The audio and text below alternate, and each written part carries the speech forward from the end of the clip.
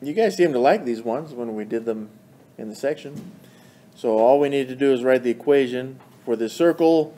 They've given us the center of the circle and the radius as well. So this is our standard form for the equation of a circle. I'm going to go and replace my h value with the h value that they gave us. That's, of course, is from the center, right? hk. So my h value is 0. The k value is a negative 2.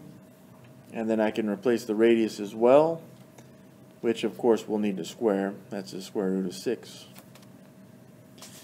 So, simplifying this thing, we got uh, x minus 0 is just x, which we're going to square, and we don't really need those parentheses. Then we're going to add this to, that's going to be end up being y plus 2 because of the minus negative stuff. That's going to be squared. And this will equal the square root of 6 squared. That's just going to be 6. Bam. Done.